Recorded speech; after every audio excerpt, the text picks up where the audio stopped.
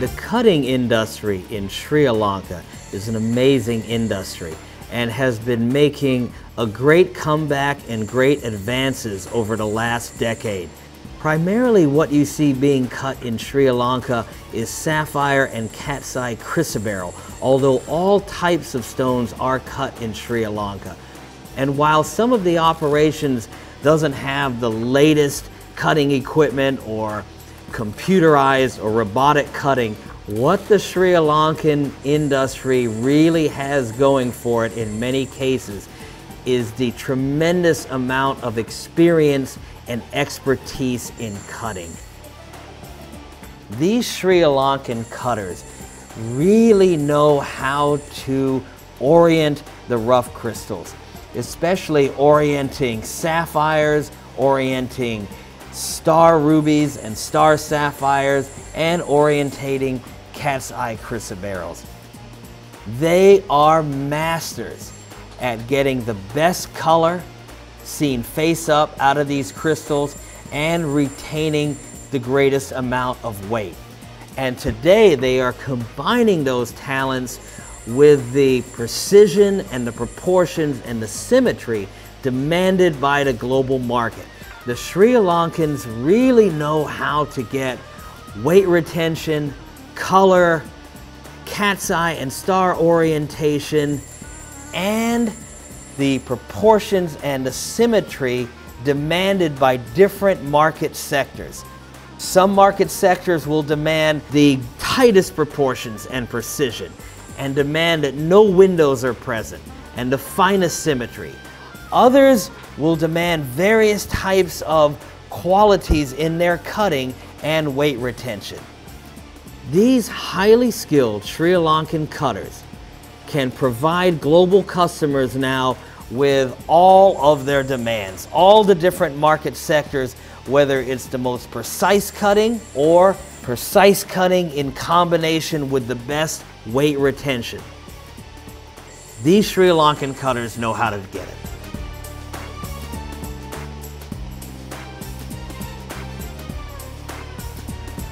They have decades and centuries of experience that they're calling upon to get these very valuable materials orientated just right. Here you can see this lady is polishing a star sapphire. She's getting the near to final polish on there so that it has the most beautiful appearance. She's already orientated the material to get the best weight retention and the star orientated right at the center or in cat's eye chrysoberyls, the cat's eyes orientated just right for the customer with the best weight retention and with the best color that they can get face up. This is really an art. It is a skill, it is an art, and to some degree a science that is all combined to get the best appearance for these finished stones. And look at how she's doing the star sapphire. She's polishing this all by hand, all controlled by hand. Coordination with the eye and the hand and experience. This is really expert cutting at its finest. We constantly saw in this small factory, if you will, which was comprised of two ladies at this time, cutting these gemstones going back and forth between cutting star sapphires, cutting cat's eye chrysoberyls, and cutting faceted blue sapphires. Constantly going through the process, putting the polish on. These ladies constantly went back from sapphire to cat's eye chrysoberyl during the production, doing many parcels of cat's eye chrysoberyl. And then we saw parcels of preformed blue sapphire rough that was going to be dopped up and then faceted. You see the initial preforming had been done, which was highly important to get the orientation for the color face up. A critical stage that required a great deal of skill and knowledge. If the initial preforming isn't done correctly, nothing else matters. To have to re-go back in and reset the orientation of the table, you will lose a tremendous amount of weight. The preforming is critical in getting the best color face up and in getting the most weight retention from the rough. This is where years of experience is required.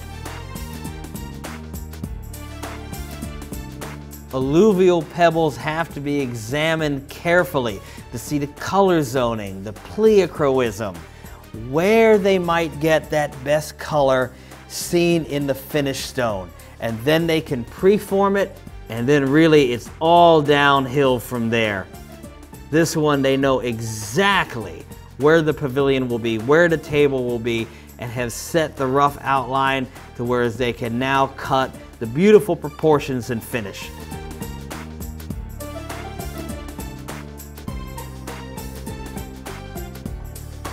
Looking at a stone like this and knowing how it's going to be enhanced by heat, what color it should change, how you're going to orient that rough for that best color.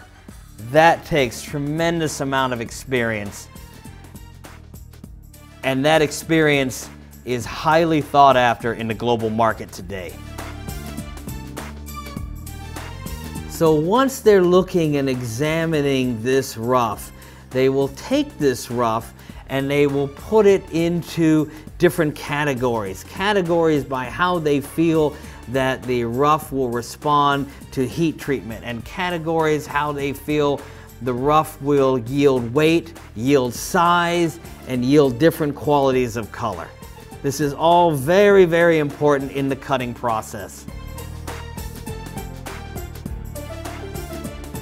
This man has so much knowledge and experience, he can just look at this piece of rough and pretty much know how it's going to turn after treatment and what it's going to cut.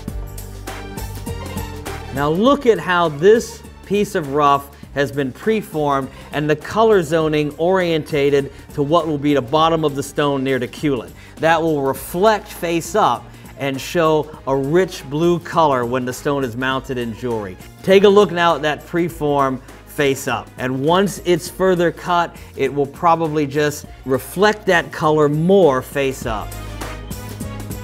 Sapphires aren't the only stones that are cut in Sri Lanka. Sri Lanka is now cutting a variety of material more in the global market like this incredible tanzanite.